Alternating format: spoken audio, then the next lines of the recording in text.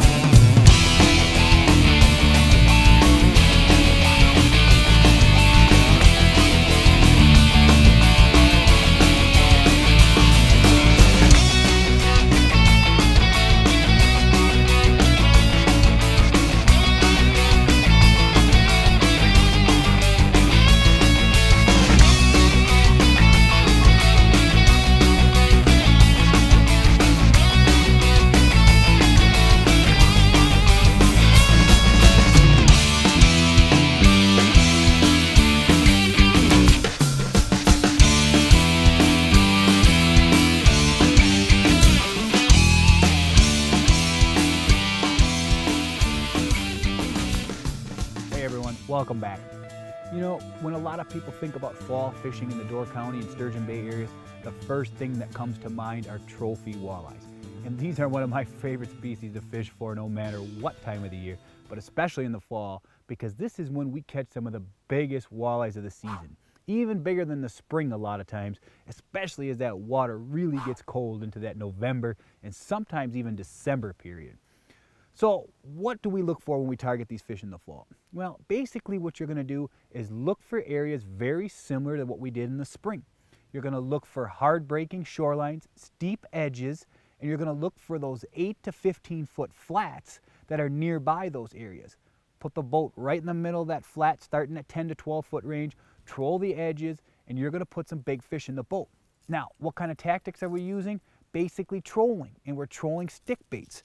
One of my favorites, for example, is this big super rogue, a purple color, gold colors, anything like that is going to produce fish. These baits can be run off of flat lines right off the corners of the boat, or they can be run on planer boards. One thing to keep in mind when you're targeting these fish is bait size. I like bigger baits this time of the year, but don't forget about running some of the smaller versions as well. Some of the smaller rogues especially can give off a different signature. Here's an example of the same bait in a smaller size. As you can see here, the differences in the action from the big bait to the small bait is, is pretty dramatic and sometimes that can be the difference between a couple fish a night or a bunch of big fish. So experiment with different size baits, but make sure you're targeting those stick baits, those size ranges between three and a half to four inches, all the way up, of course, into the big six inch baits. Another classic example is this Rapala Husky Jerk, a size HJ14. You know, fire tiger patterns, again, golds, greens, anything with that color pattern, always going to produce big fish this time of the year. So take a look back at one of the big walleyes we caught this spring using these exact same techniques and it'll apply again to your walleye fishing this fall. Boy, you know, the bites just keep coming tonight. We got another one on here now. Uh, we were just trying to reset lines after the last fish where we had a clear and just this board didn't get 20 feet outside the boat. We had another one on. So oh, we're working this fish in, guys. Here we got the board off now and tell you what, this has got some, this is a big fish. And this is what you come out here for, like we've said all night. This is why you lose sleep. This is why you get back in the morning, sometimes at two, three in the morning. But I'll tell you what, when you get a big bite like this and you feel these big head shakes, if you're a walleye fisherman, this is what it's all about right here.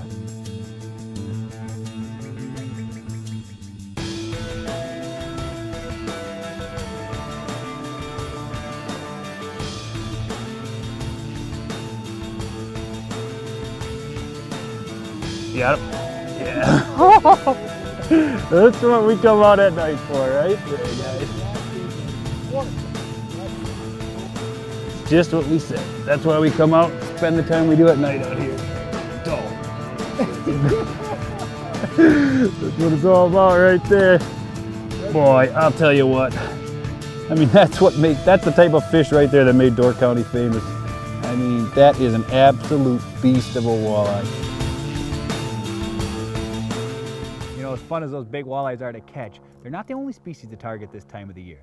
Another great opportunity for this season is brown trout. Now, a lot of people associate that spring ice out period with brown trout fishing, but the fall can offer some great fishing as well. Concentrate on those shallow flats in the Sturgeon Bay area, both on the lake and the bay side, and you're gonna put a lot of fall brown trout in the boat this season. Use smaller baits this time, however. Use numbered size like 10 husky jerks, uh, yozuris, these shallow running yozuris, as you can see by the action here. You want that tight, quick wobble to them. You don't want a big, long, wide wobble like you get sometimes in the fall for walleyes and big pike. Um, these small yozuris and these small husky jerks are just the choice for targeting these late season browns. Take a look back at a fish we caught this spring on the Sturgeon Bay area using these exact same tactics. All right, we got a nice fish on here right away this morning. Good way to start the day. As you can see, these aren't necessarily what a lot of people would consider prime brown trout conditions. We got fairly clear skies, basically flat conditions. Um, but it just goes to show you if you put yourself in the right spots, get set up right, and catch brown trout in just about any condition. Doesn't always have to be that overcast, choppy days that a lot of people a lot of people relate to brown trout fishing, especially in shallow water conditions. Um, like we've talked about many times, when you get these kind of conditions, you just got to spread the boards out a little further away from the boat, um, adjust your lead length a little bit, and uh, try to reduce that spook factor a little, but it can definitely be done. Oh, that's a nice brown right there. That's the kind of fish we're looking for out here. Just goes to show you, you can catch these fish under any conditions. If you get the right spreads, make a few adjustments. There's a nice Sturgeon Bay brown trout right there. Just a beautiful fish, clean, healthy. I'll tell you what, get out here in the mornings, no matter what the conditions are, make your adjustments, get your boards away from the boat, you can catch these nice fish yourself. You know, guys, another great opportunity we have available to us during the fall season here in Door County is some trophy northern pike fishing. Now, the cool thing about pike fishing up in these waters is that they produce good action and some trophy-sized fish that push over the 40-inch range every fall. What's also cool about it is that we can target these fish in a couple different ways, trolling or casting. It's kind of whatever you prefer to do.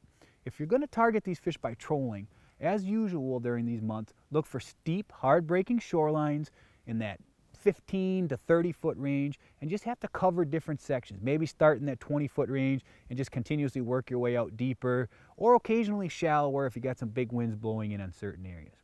One thing to consider when it comes to bait choice is to target big, deep diving crankbaits. Deep diving husky jerks like this one right here, or of course the 800 series reef runners.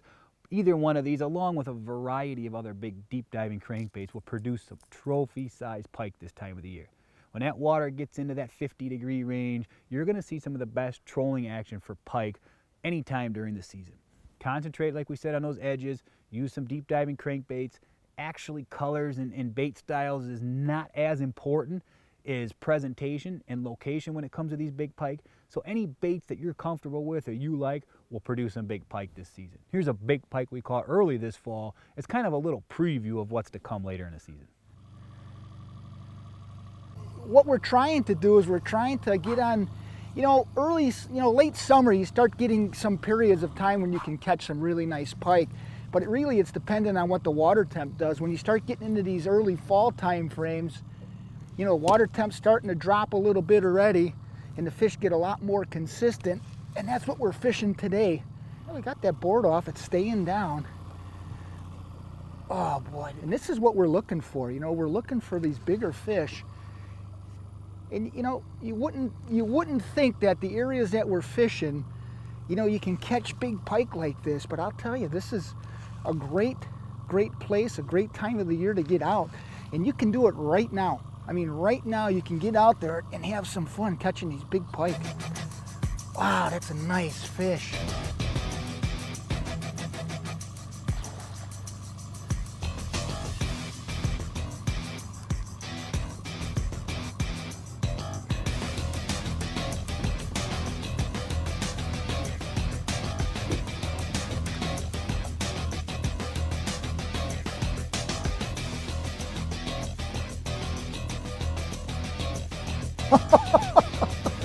I'll tell you what, this is what we come out here, early season pike fishing. This is a big, big fish. I mean, this thing is probably pushing close to 40 inches. I'll bet you this thing's 15, 18 pounds for sure. Get this bait out of here because I definitely don't want to wear it. Barely was hooked. Some pliers. Barely was hooked. What a nice fish. Beautiful fish. Big fish. And you know, we're gonna let this baby go. We're gonna get fishing here because, you know, you start catching fish like this, there could be more and more bigger ones here. So we're gonna let this baby go and we're gonna see if we can catch some more.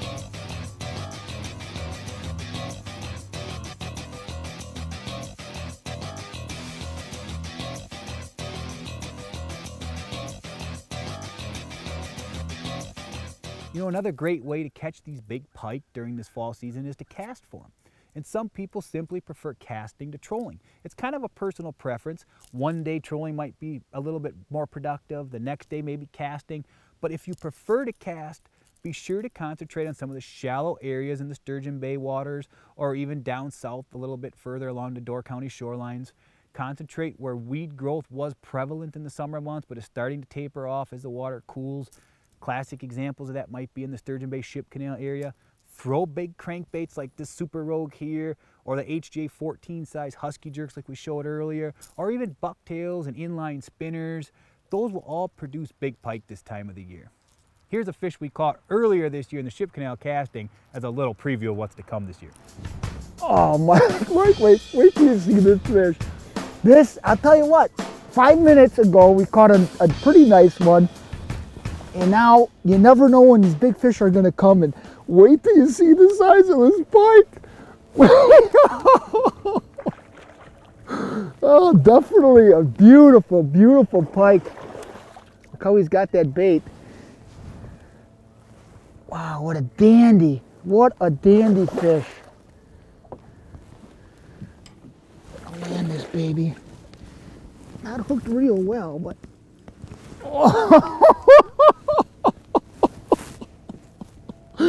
at that fish. I'll tell you what, we got a, you wouldn't picture this day as a great pike day. Uh, we're fishing kind of a flat area, but it's the time of the year. Time of the year is really key for these fish. Oh, we're gonna let this fish go. I'll tell you what, these fish you really gotta let go, folks. You know, these are, uh, not that it's a 40 inch or 20 pound plus pike, but this thing's pushing 12, 14 pounds. And, uh, you know, these are the ones, you let them go. Gonna right them up here. Let them get ready to swim. You know, guys, if you're going to spend any time trolling this fall, one of the ways you can up your success rate considerably is to troll lead core line. You know, lead core is a presentation that works year round, but it really shines in this cold water periods of the fall. Here's a little segment we did on lead core trolling earlier this fall where we concentrated on trolling deep edges for walleyes and it produced one of our biggest walleyes of the season. Well, it's that time of the year again, folks. It's late summer, we're getting into fall, and that really means one thing up here in the Door County area, and that's trophy-sized fish. Pike, walleyes, muskies, and just about everything else that swims up here. We're gonna catch some of the biggest ones of the year in this fall season. And one way we like to do that is by using lead core line. Now, a lot of people overlook lead core line as an option, especially in this fall season, but it, to us, it's one of the best ways to target these trophy-sized fish.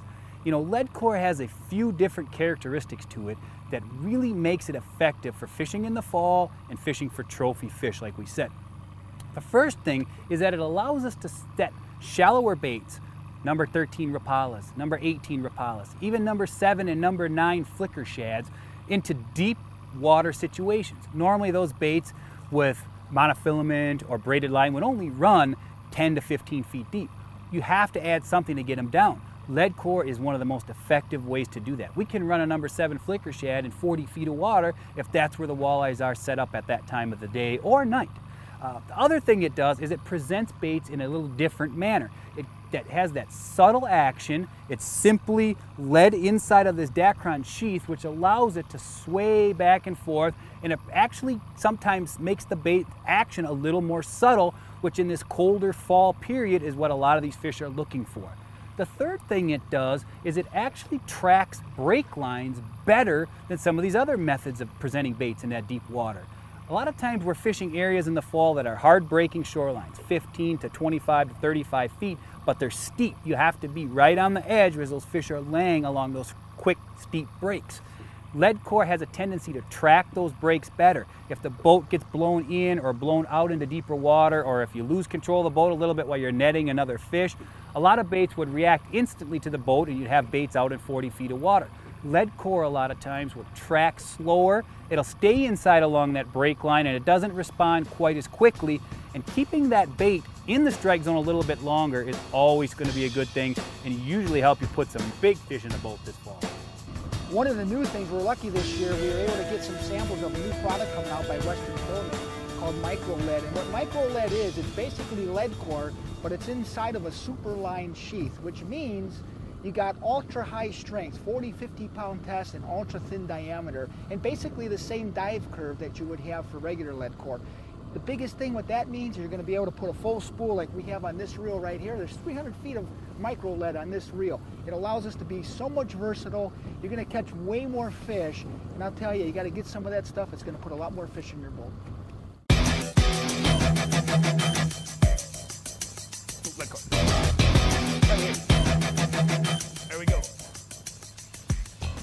Oh, this feels like a nice fish too. That's the one thing about lead core. You know, we talked about some of the techniques and some of the tactics and how to run it. This is an example right here. And the one thing, like I said, the one thing about lead core is it can produce big fish. There's something about the subtle nature, as we talked about earlier. It really can trigger some big bites. And I don't know what this is. We're in an area where we could be, could be just about anything, but whatever. Big fish.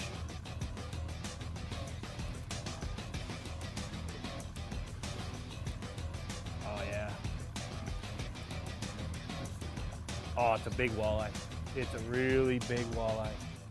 This is this is the type of walleye right here that made Door County famous.